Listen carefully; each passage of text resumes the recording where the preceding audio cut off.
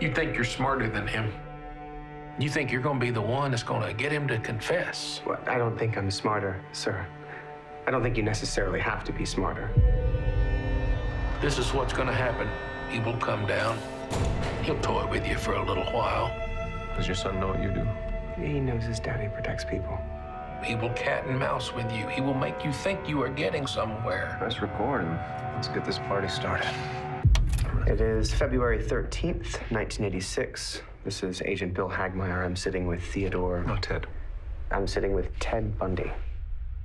Ted Bundy has 13 hours to live, and he is using those hours to try and buy himself more time. He's ready to talk. He said he's ready to confess to everything, but only talk to one person. There are families out there looking for answers. The world needs to know why he killed those girls. You're some hotshot young upstart, and I'm your next big case. You're going to be the guy who broke me.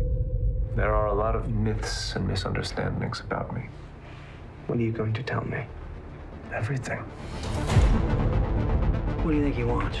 You and I will sit down and have the conversation you've wanted this whole time. When you get too close to a guy like this, you could lose your way. Do you think you could kill somebody? I'm an FBI agent. That's not what I'm saying. You can't hold these girls hostage. I'm not playing games. How many did you kill? Let's say 30. Let's say we talk about the real number. 30 is a nice round number. Getting inside my head. I'm looking for understanding. You think they should kill me, don't you? You think it's my time to die? Frankly, they probably should have done it a long time ago. I'm going to take you somewhere that I've never taken anyone before. I need a moment with Bill. He's my best friend.